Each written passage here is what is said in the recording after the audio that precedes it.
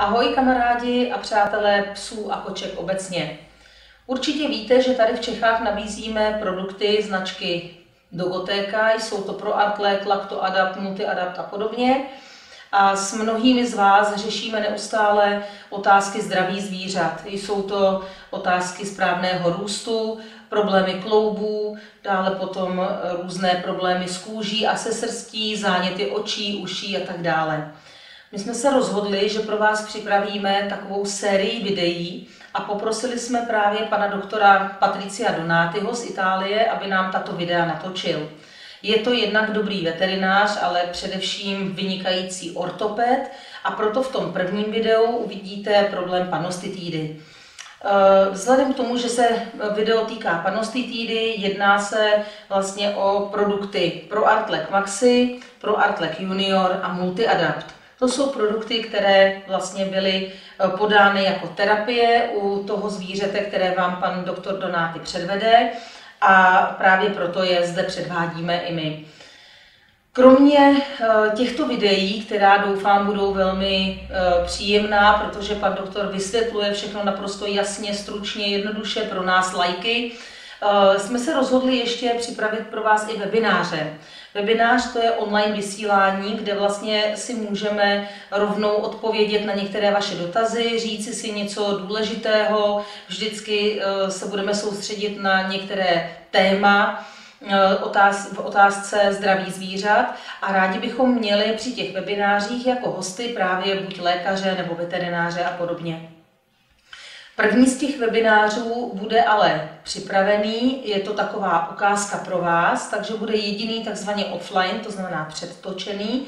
A chtěli bychom vám ho připravit asi na pondělí nebo úterý. Eh, tam eh, vlastně bych vás chtěla poprosit, jestli byste mi do té doby poslali vaše případné dotazy.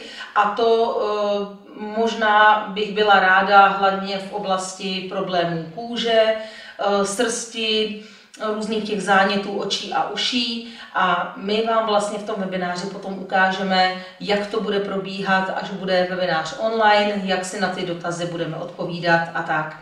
E, doufám, že i to se vám bude líbit, že to zase trošičku přispěje k takové osvětě, co se týče zdraví zvířat. E, věřím, že spousta těch věcí bude pro vás pouze opakování, ale možná se dozvíte i něco nového a v každém případě lepší některé věci slyšet vícekrát, než je neslyšet vůbec.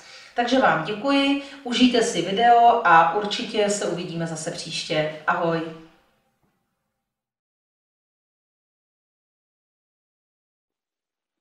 Oggi parliamo di panosteite e vi mostro il caso di un Terranova affetto da questa patologia.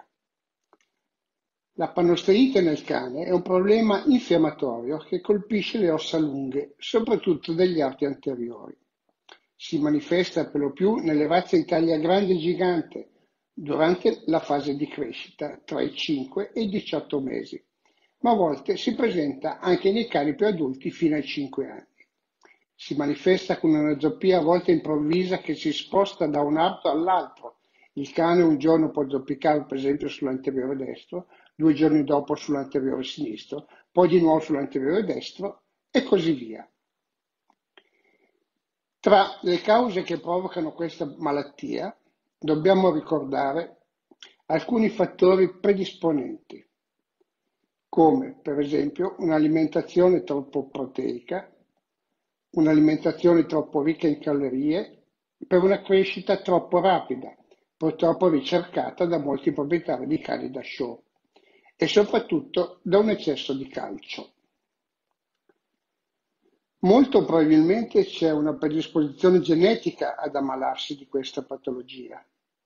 Per diagnosticare questa infiammazione servono una visita e una radiografia. La visita metterà in evidenza una risposta dolorosa dell'animale in seguito alla palpazione e alla compressione delle ossa lunghe.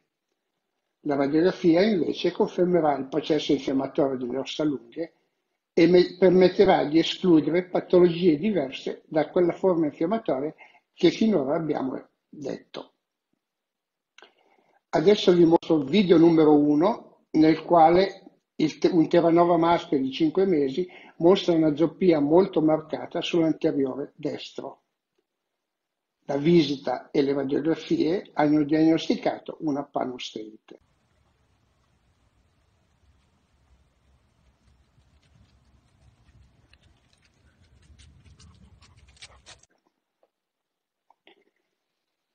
Ad un cane che è colpito dalla panosterite deve essere limitato il movimento e permesso solo un esercizio fisico molto leggero. A questo cucciolo è stata cambiata la sua dieta sono state abbassate le proteine, è stata aggiunta l'integrazione alimentare con il ProArt Egg Maxi, che con i suoi componenti naturali combatte ed annulla i sintomi infiammatori e dolorosi provocati dalla panosterite. Nel video numero 2 vediamo lo stesso cane dopo una settimana di trattamento con il ProArt Leg Maxi. Come vedete dal video, la zoppia non c'è più e il cane si muove più volentieri e senza dolore.